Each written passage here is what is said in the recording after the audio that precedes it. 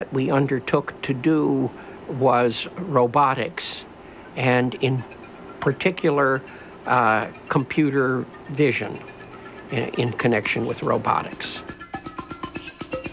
AI researchers figured that for programs to perform more like humans, they needed to be coupled with hardware to see, hear, and feel.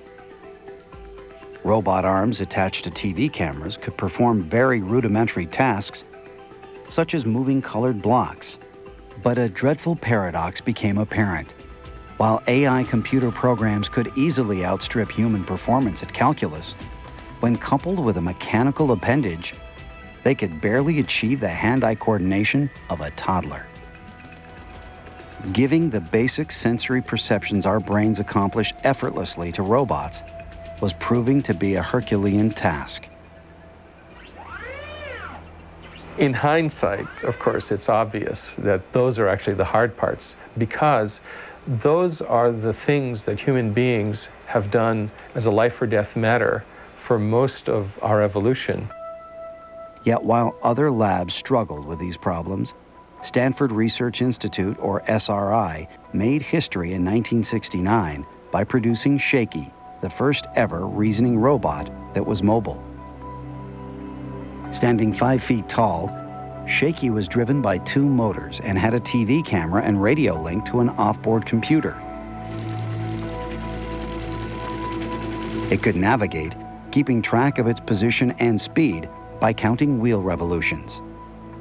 We wanted a system to be able to uh, learn a little bit about its world, make a map, use that map to uh, figure out how to uh, make motion throughout its world, how to, how to uh, move. Lacking a complex vision system, Shakey's world was a simply painted geometric environment, deliberately making it easier to perform the higher functions of learning and planning.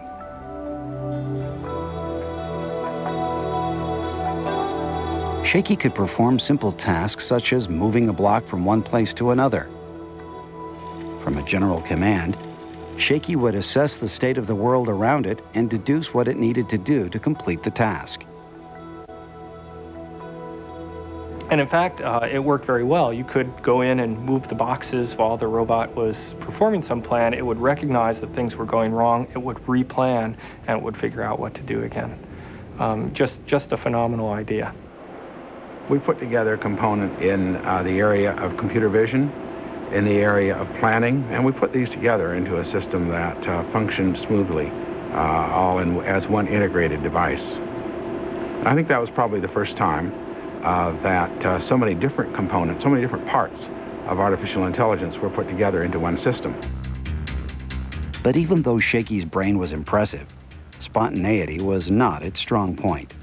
Every move took more than an hour to compute, and even then, there was a high chance of failure. Over at Stanford University in the early 70s, they were having problems of a different nature with their robot vehicle, namely trying to keep it under control. The AI lab was experimenting with the famous Stanford cart, a mobile robot which, unlike Shakey, could see and navigate in any environment. The cart had on it a television camera, and uh, we illegally used an unused television channel, and uh, we used model airplane type controller to get the information back to the cart.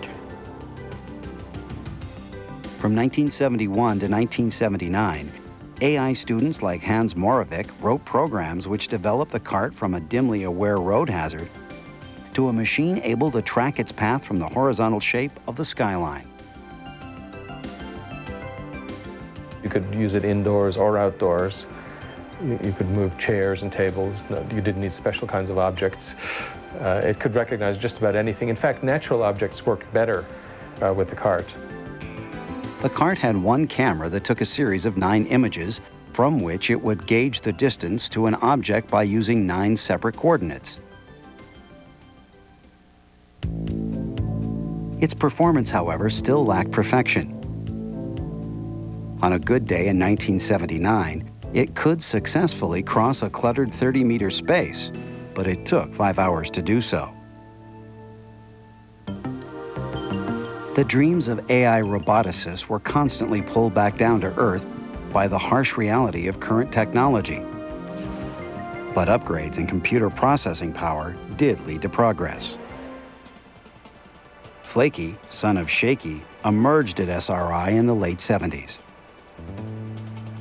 Roving SRI like a distant cousin of R2-D2, Flakey could interpret even vague statements from its master and perform an appropriate action. I want Leslie to have the bagel. Enter.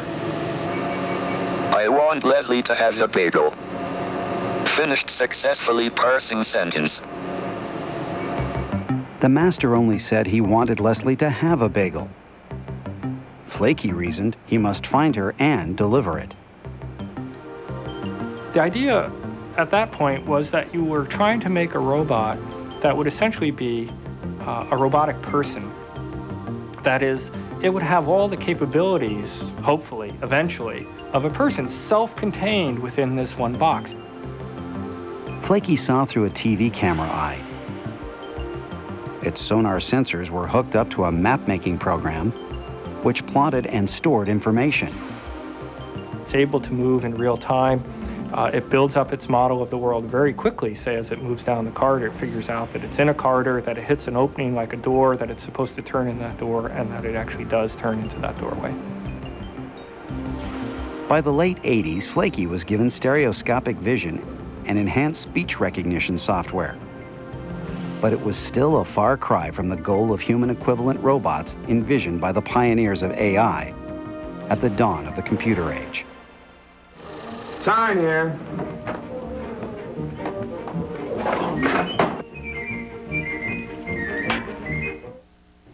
Robots will return in a moment here on the History Channel. Chow, chow, chow. Samson's so healthy. Know why? Cat Chow has advanced nutrition with omega-6 fatty acids to help keep his immune system healthy inside, skin and coat healthy outside. Purina Cat Chow for a healthy cat. So close fast. The Remington Microscreen 3 gives you three things no other shaver can. Our most powerful motor, 150 cutting edges, and three flexing microscreens, guaranteed to get you smooth. The Remington Microscreen 3. Secret shortcuts, back roads, winding trails. Thankfully, a truck that appreciates your sense of direction. A truck with four available suspensions that handles even when fully loaded. The GMC Sonoma created with nearly 100 years of GMC commitment and a devotion to true truck capability. Get your hands on a 98 Sonoma and drive away with $2,000 cash back or 0.9% APR financing. The Sonoma from GMC. Modern marvels. There's so much you can do with a prosthesis nowadays. Run a race, drive a car, take a swing, or ride a bike. Electronic hands that grab, limbs that sense and feel the next generation in a legacy of innovation. From iron limbs to high-tech plastics, the long journey to state-of-the-art replacement parts. Prosthetics, Monday at 10 Eastern, 11 Pacific on an all-new Modern Marvels. MCI 5 Cents Sundays. Five. I need passion, depth, I need intensity. MCI 5 Cents Sundays. 5 cents a minute Cut. every Sunday. Think big. Think Shakespeare. Five cents a minute every Sunday. Five cents a minute every Sunday. I ask for an actor, they send a comedian. Call 1-800-Sundays to become an MCI customer. Again? Call 1-800... This young man is about to save a life. Would you know what to do? If you arrive first, have someone go for help. Don't move, don't move, don't move. Hey guys, call for help. Then, to reduce the risk of fire, turn off the car's engine. Don't take chances if a car is burning. And never move a victim unless it's absolutely necessary. Learn more in this free book from Shell. Count on Shell. Very good this year. I worked hard and I helped around the house. So I wanted a digital camera. Uh, a 400 megahertz computer. DSS with a billion sports channels. And a big screen TV. so what do you think? The latest toys for big girls and boys. Best Buy.